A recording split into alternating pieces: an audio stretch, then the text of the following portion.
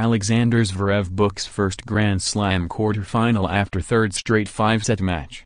Alexander Zverev will compete in a Grand Slam quarterfinal for the first time in his career, after beating Karen Khachanov in his third consecutive five-set match at Roland Garros.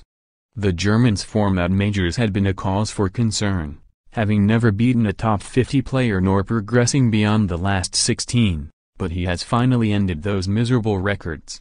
In fact, He's enjoyed back-to-back -back wins over top 50 opposition, with world number 38 Khachanov denied a first venture to the last eight of a slam. Once again, there was nothing straightforward about this victory.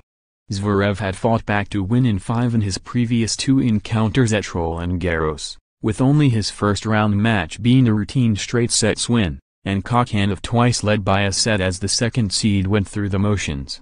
But he has shown real determination to win at all costs and he battled through 4-6-7-6, 7-4, 2-6-6-3-6-3 in three and a half hours. The pair traded blows at the beginning of the match but it was Khachanov who got his nose in front, breaking at the death for a 6-4 lead. Zverev spurned three set points on serve at 5-4 up in the second, but regained his composure in the breaker to level proceedings. Rather than riding the wave of momentum, it was Khachanov who stormed back into the lead, breaking twice along the way. But the young German would not lie down and be defeated easily, becoming increasingly fired up as he clawed his way back into the tie once again. The consecutive five-set matches appeared to be taking their toll, with the 21-year-old requiring treatment for blisters on his foot ahead of the decider. But despite the concerns he struck first in the fifth, moving 2-0 up.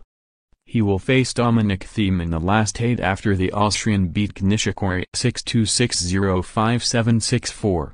Novak Djokovic takes swipe at French Open officials Novak Djokovic storms into French Open quarterfinals French Open Day 9 schedule, order of play with Nadal and Sharapova Williams.